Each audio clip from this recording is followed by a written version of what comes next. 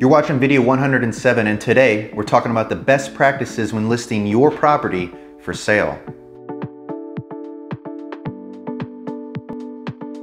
Today's video was requested by a handful of clients and friends that are selling this year and they wanted to be proactive with their approach.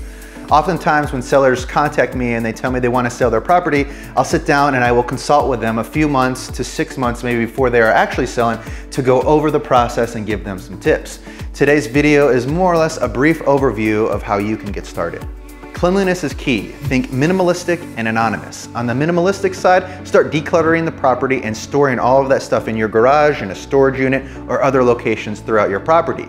Now on the anonymous side, that means removing personal photos off your walls and essentially making your home look like a model property. We want buyers walking through your home, imagining them living there, not seeing you live there.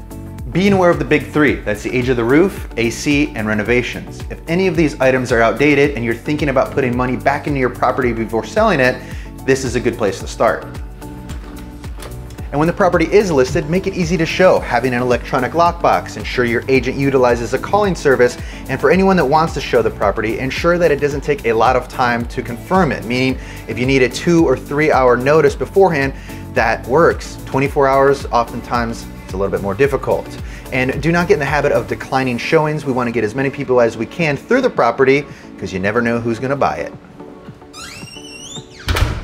Here's a little bonus tip for you. So think about the buyer's experience. When they come through the property, are the lights on? Are the blinds open? How does it smell? And if you have the opportunity, some cookies? Thanks for watching and I hope you found these tips helpful. If you have any other questions about this, you can always reach out and ask me.